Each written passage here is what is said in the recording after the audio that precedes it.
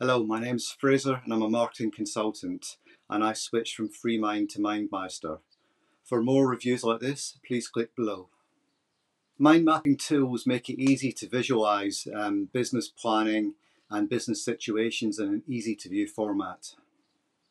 I find that MindMeister is better for its ease of use and its flexibility. And because it's got native apps for mobile phones and iPads, etc., it's much easier to use on the move. I'd say that FreeMind is best for getting started because, quite simply, it's free, which helps a lot of people trial it, and it's a good entry level. They're both fairly easy, but I actually like the simplicity of MindMeister better because when you open the program, it just simply goes straight to do you want to start a new mind map and would you like to use a template? When I'm looking at mind mapping software, there are a few things to look at. It's got to be easy to use, uh, primarily. Uh, and also it's got to look good.